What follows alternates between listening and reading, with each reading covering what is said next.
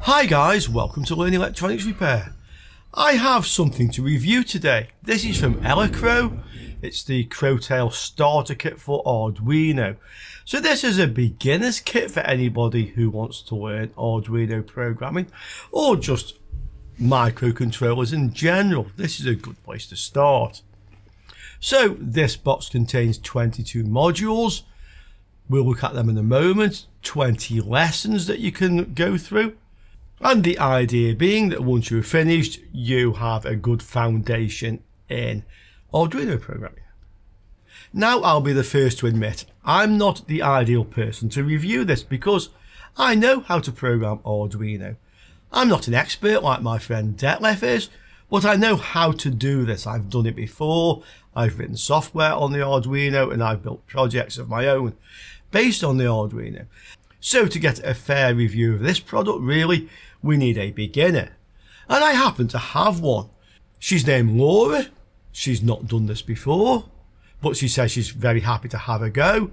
She's not actually on the island at the moment. She'll be here around the end of September, a couple of weeks time. And I'm sure you'll really enjoy meeting Laura. She really is a very nice girl.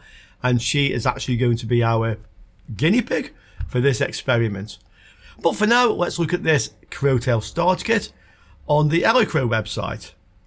What does it contain and how much does it cost? I'm sure quite a few of you will actually know this company. They're quite well known as a supplier of electronics kits, modules, and they also have facilities such as PCB assembly, 3D printing. There is an active community here with a forum and we can share projects on here also. So guys, come over here, have a look around. There is plenty to see here.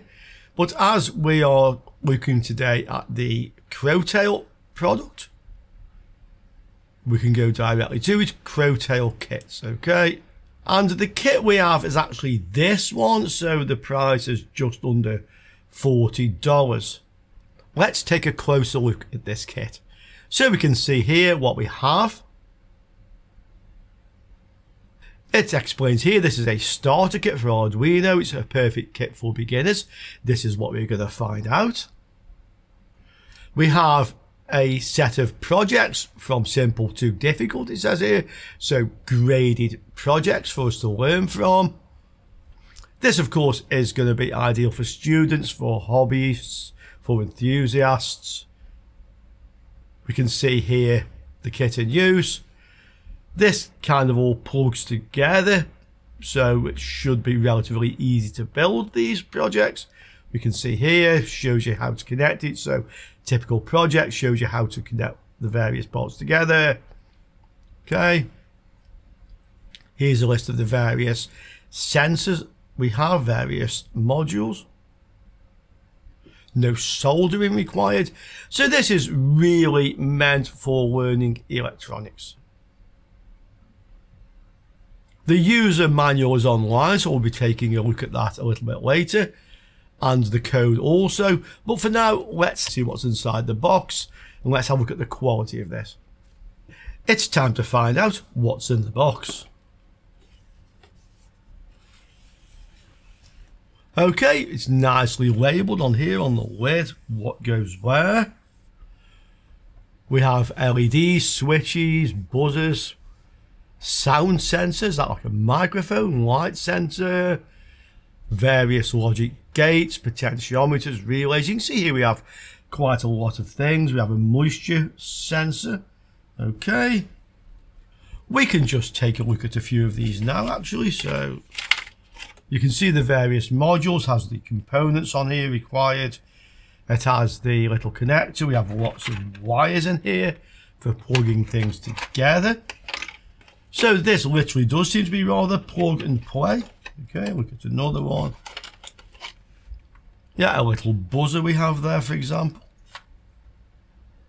Again, all plug and play. Remove seal after washing. I'm not quite sure how that got in there. Okay.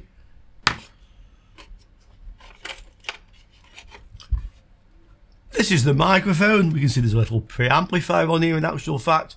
So all these modules will connect via these cables we have here. potentiometer. I think there's enough different modules here to start exploring your own projects after you've been through the various tutorials. This is a breakout board, so this is where all the connectors plug in. We can take a closer look in the box. Okay, what we have here, four digit display, potentiometer, a relay board there so we can handle higher voltage or higher powered equipment, switch from the Arduino. We have an Arduino type board here. This looks like a custom board to me. Okay. It has a nice table showing all the pins here, the various functions. Crowduino Uno SD. So a custom Arduino based board. And that is designed to fit this interface board. So this is where we have all the connectors going to our various modules. You can see they're arranged D. I'm assuming these are digital ports, analog ports, U port and I port. I'm sure we will find out when we start using this with some of the various experiments and lessons we have. And a battery pack, so it's easy to power our projects up. Yes, this takes AAA batteries.